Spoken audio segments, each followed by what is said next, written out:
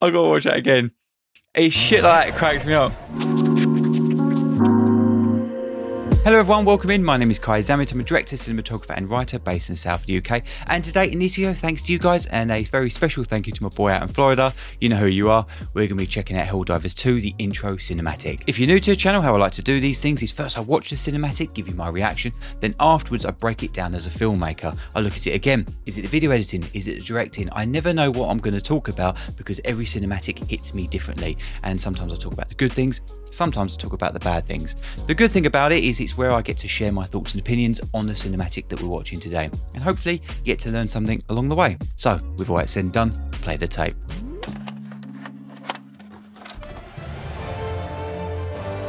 Okay, straight up into a news report. I heard this is very like Starship Troopers. Super Earth, our home. I love Paul Verhoeven. God, I can never say his name. Paul Verhoeven's work. Hi there. Democracy. That is great. Our way of life. It's like a commercial. Hello. Hello.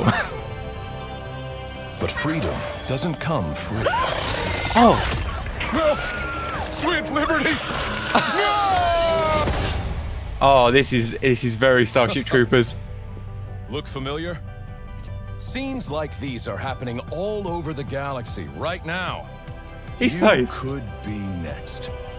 That is, unless you make the most important decision of your life. Prove to yourself that you have Oh, the that's a nice strength match cut. and the courage to be free. Join the This Helldivers. is wicked.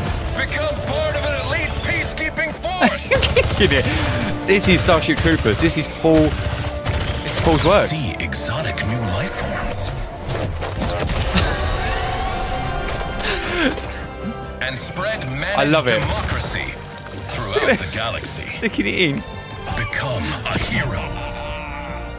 I love it. A legend. Golden hour. Become- It's powerful. A Helldiver. That was. Oh, it's so short. It's such a shame that it's so short. But that was awesome. That was Starship Troopers. That was Paul. That was very clearly inspired by Paul Verhoeven's work.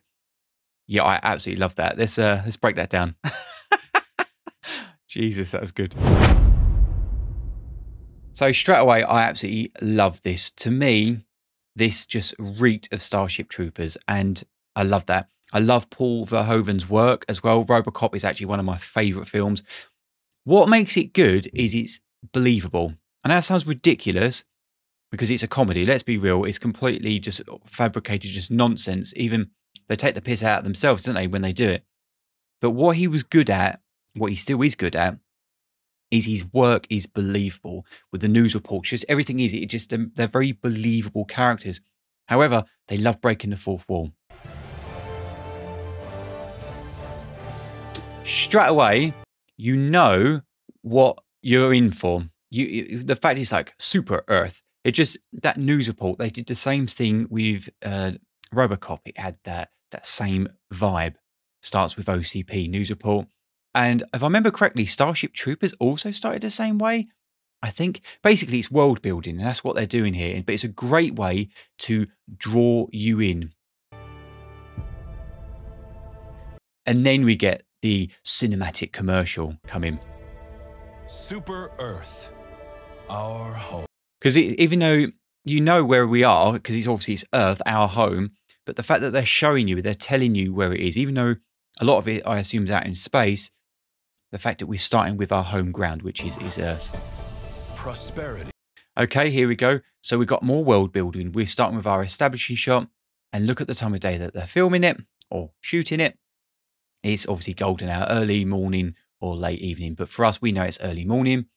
But and the reason why you do this, if you're ever doing a if you're a drone pilot or you like doing drones photography, do it at this time of the day because look at these shadows. You get nice long shadows. And what it does, it creates texture. And that's exactly why you want to film at this time of day or at the end of the day. If you film sort of noon time, it's awful, awful because your shadows are going to be tiny and it just looks absolutely rubbish. But with this, you get this lovely gold, golden hour. It's fantastic. Liberty. Hi there. I love it. Hi there. Right, okay. I've got to talk about this part because I actually work in commercials. Okay, so that is my background. All my commercials are films, hence the reason I'm a filmmaker. Okay, but for this, it's the lighting of this very high key lighting. Yes, it has a low key part of it, as in they got some shadows here, but with commercials, this looks literally like a, a very Americanized commercial. The fact because of the lighting, you've got the major light over here, lighting up your subject. Got a bit of shadow here. It literally, I watch tons of commercials because I have to for work, but also it allows me to get better at what I do. But in the commercials that I make, I do the same lighting, but they obviously push a little bit more to the American audience with this, and I love it. It literally looks like a commercial. Our What's also good as well is you've got the voiceover, okay? You've got the voice of God telling you, giving you tidbits of information. That's what you want to use a voiceover for. It's there to feed you little bits of information, not give you the whole story. And obviously, for us, we know this is the character whose voiceover it is. It just kind of ties everything together really nicely. I really like it. Hello. Okay, so we've got our second establishing shot, so we know exactly where we are. So we've got the main one to tell us what we're on Earth. Then we're in a city in a suburban area. And now we're in this area. It just helps feed you all the information. Look at this, all these harsh shadows and this golden hour. I love it. I know it's all CGI, but the fact is they thought about the lighting to make it look more like a commercial, so more of an ad. And I really like that. I love this little bit as well. Because normally it'd be those bloody yellow and red cars that you get, but because this is meant to be the future, I love the fact they've got it as a starship. I, d- uh, yeah, it's little little bits of writing like that that really anchor it, and it makes it a little bit more believable. But also, you're able to take the mick with it. But freedom. This bit, let me go back Hello. five. But freedom. Mate, that is harsh. The fact that there's a a kid, like he's really happy. But what a great way to introduce a terror that's coming in. You see the shadow of it with the audio. That is how you introduce a character, or the problem, should we say. You hear it and you see a silhouette of it first. But I knew it was a comedy Doesn't because of this shot here. The fact that he broke the fourth wall. So, a fourth wall, if you don't know, okay, is the wall, the lens here. This is the fourth wall. Me talking to you directly, okay? So, this is what Deadpool is very famous for and loads of other films. They break, you break the fourth wall. And by doing that, it it changes the dynamics of the story. But this one shot changed everything. It became, I knew it was sort of basically a comedy at this point. But look at the lighting of it. Look, you've got your nice sort of lit from the 45 degree angle. You've got this lovely dark shadowy bit here. It just literally looks like they've had a cinematographer come in and light this from a commercials. They must have done tons of study research on this. Whoever the lighting guy who did this. But look, they've even got the catchment. They want you to look at his eyes. But yeah, Come his face. Dude, like that is fucking nasty. And the thing is, because they don't show you the death, it makes it harsher. And that sometimes less is more. You don't have to tell your audience what you need them to see or hear. You can do it all from the imagination. And yeah, it's fantastic. Let me go back five and go into it. But obviously, considering watching this, and obviously, I haven't seen Starship Troopers for years, I got immediate vibes from it. I don't know. Maybe it was because someone said to me it was like Starship Troopers. Uh, a friend out in Florida who I, who I met through the channel, he said it's like Starship Troopers, and I was like, okay. But I wonder if I think I'd have got it very quickly. But I definitely got RoboCop vibes because RoboCop had the same OCP news report at the beginning. But freedom love doesn't come. happy they are. free- It's that bug. Yeah, it is. I love it. Sweet liberty. this, and again, you can tell it's a bit of a piss take because the way they squirted the blood over him, and obviously he's t- he's terrible acting, which is done on purpose, isn't it? No. Sweet liberty. No. I love it. It's so good. It really is. Yeah. I um this has really made me want to watch Starship Troopers again because I love that film and I've not seen it for for years. But look at this. What I really like is the devil in the detail here. Let me go back five. Watch he comes in. So you get this come up. So you get like this grid, obviously, but then they filter it here to make it look like it is a screen. But just to sell you on the, the believability of it, is the reflection here. But look, so you've got your golden lighting here, and then to make it look like he's in a studio lighting, they changed to Kelvin. Okay, Kelvin being the color temperature of light. So here you can see that he's obviously he's got more of the cinematic commercial look. Yes, we're still in the commercial space, but they changed Kelvin to more what I've got here, which is more around about the 5500 mark to make it look more like a studio lighting. And he's evenly lit. Can you see? We're here. He's got a major color temperature here and a darker shadow here. Still got the nice bloom with a bit of shadow, but it has more of a studio lighting as in look at his hair light. Look familiar? Scenes like these are happening all over the galaxy right now. Can I just say here, the the capture here, the motion capture is sublime, isn't it? It's getting it's really getting to that next level now. Is there any more cinematics in this? I'd love to know if there is. If they look like this, I'd be all over it. You could be next. That is, unless you make the most important The mouth is still a bit. your Mouth is the only thing that gives it away, isn't it, with these sort of things? life. Prove to your That was really nice. Okay, so I mentioned this in the when I was watching it. This is what they call a match cut. A match cut is exactly how it sounds. You're matching the same cut that you just had. Okay, so let me go back. So I'm going to go frame by frame just so I get it bang on.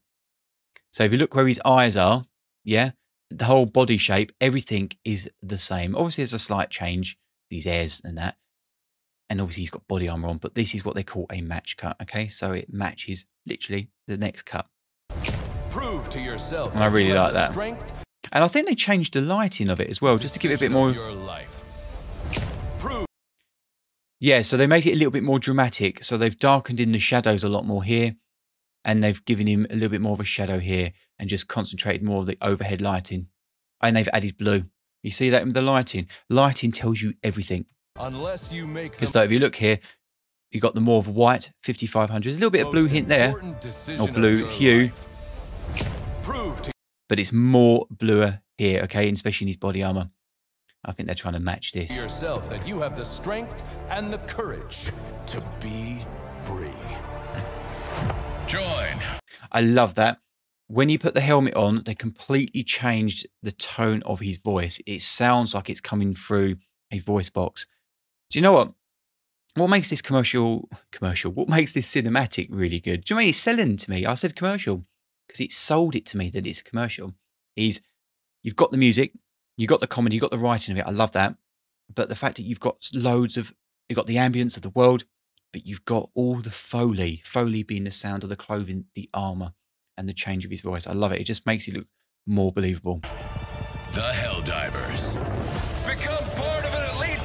Okay, so look here, we're in an alien world now. They completely changed their lighting, but they immediately tell you that it's you're in an alien world, obviously other than the bugs, but the lighting alone. Look how cinematic it looks. It still looks cinematic, but it's got a commercial vibe. Look at it.